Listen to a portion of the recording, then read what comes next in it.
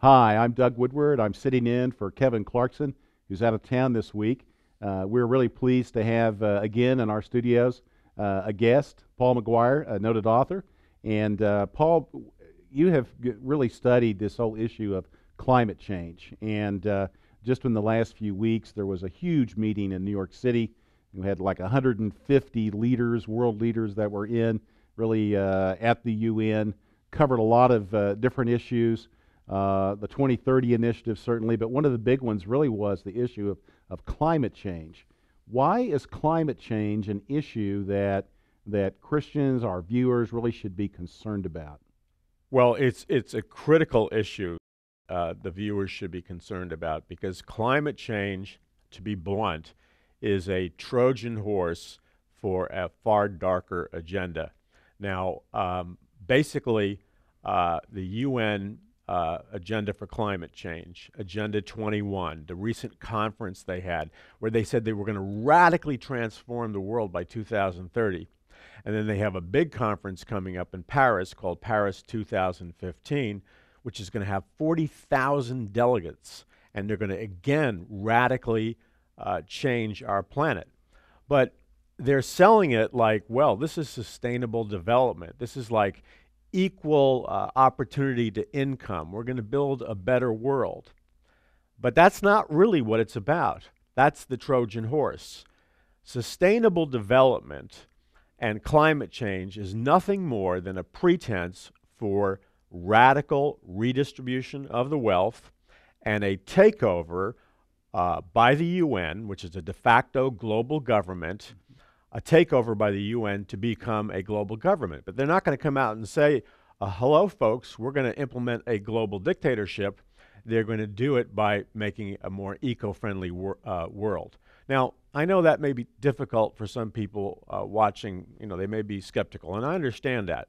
That's why in our book, The Babylon Code, that I wrote with uh, Pulitzer Prize nominated journalist Troy Anderson, we document uh, uh, from mainstream sources what I'm saying a number of years ago, well, not a number, many years ago, decades ago, when I was a young man, um, I was 15 years old, and I was uh, participating in one of the first, if not the first, Earth Day celebration in Manhattan, New York, where Abbie Hoffman spoke. I was a radical activist back then from an atheist household, mm-hmm. and I happened to be in a meeting with high level members of the counterculture, the mm-hmm. leaders of the radical activist movement.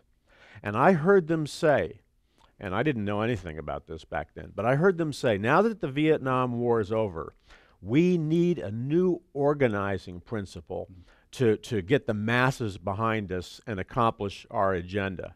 And then they said, the new organizing principle, they said, is going to be environmentalism. Mm. It's going to be the green movement. They said that now that the Vietnam War is over, we need another cause, and the cause is going to be environmentalism.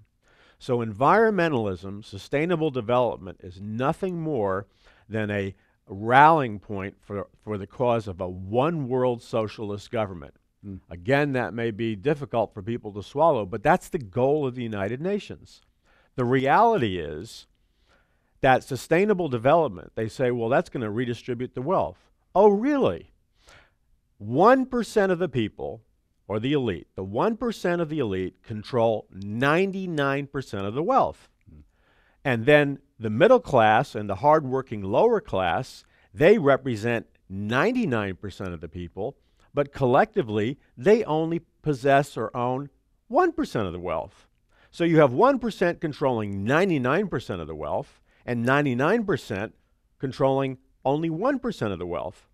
So, how come all the UN programs, how come all the measures advocated by Pope Francis and the UN, they target the hardworking middle class, the hardworking lower class, and they are going to take the money of the lower and middle class and redistribute it but how come all these guys in the 1% elite, they're not going to touch their mm, wealth? Mm. Well, the 1% elite that they're not going to touch, they own 99% of the, the wealth.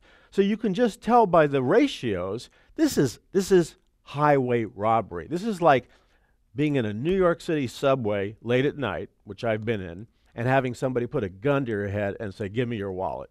Mm. Yeah, it's it, it, it's a remarkable time that we live in. We had uh, it's almost unprecedented that we had about what 150 world leaders uh, all at this single gathering. Um, you know, there for many decades, those of us that study and, and talk about Bible prophecy, we've we've talked about a one world government and so forth. It it really appears that just in the last few weeks, a major step towards that Yes. has happened. Yeah, So they're, it's, they, they uh, are.